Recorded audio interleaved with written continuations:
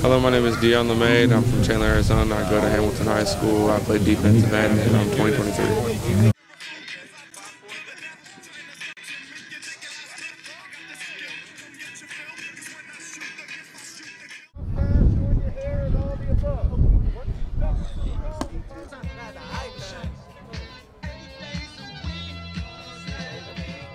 Finish, finish, finish, finish, finish, finish.